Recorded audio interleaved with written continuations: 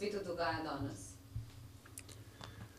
Zadnje leta smo priča brutalnemu razgaljanju mednarodne gospodarske, finančne, socialne, moralne in siceršnje krize.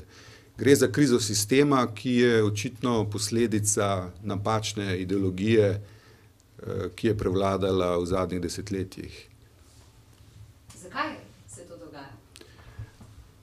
Eden bistvenih razlogov je očitno ta, da smo bili v zadnjih letih priče prevlade tako imenovanih konzervativcev na mednarodni ravni. V Ameriki gre za konzervativizem, Busha ali pa bušizem zadnjih osem let, na evropskem nivoju je zadnjih pet let prevlada, evropskih konzervativcev in v Sloveniji smo tudi preživeli, štiri leta vladavine slovenske desnice z Janezom Janšo na čelu. Kaj je problem konzervativizma?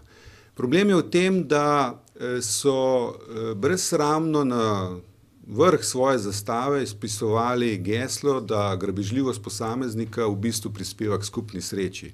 Izkazalo se je, da to ni in ne more biti res.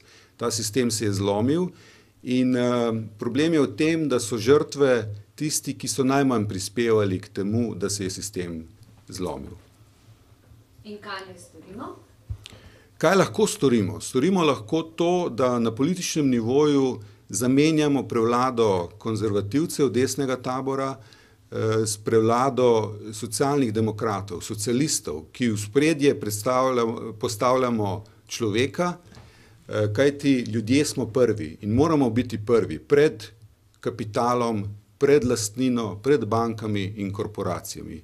Ki so nujno zlo očitno, vendar ni nobene potrebe, da se rešuje njih pred samimi ljudmi.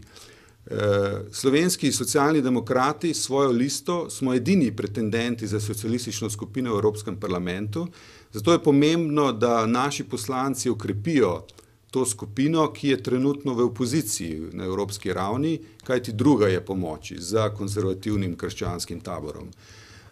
to bo omogočilo nujne spremembe, da Evropska unija postane, model, ki bo na svojo zastavo najprej vpisal ljudi, njihove možnosti, da postanejo svobodni ustvarjalci. Kasneje, bo skrbel šele za druge. Zato je pomembno, da se udeležimo vsi skupaj volitev za Evropski parlament sedmega junija, obkrožimo srečno odlično številko pet, zmagajmo skupaj.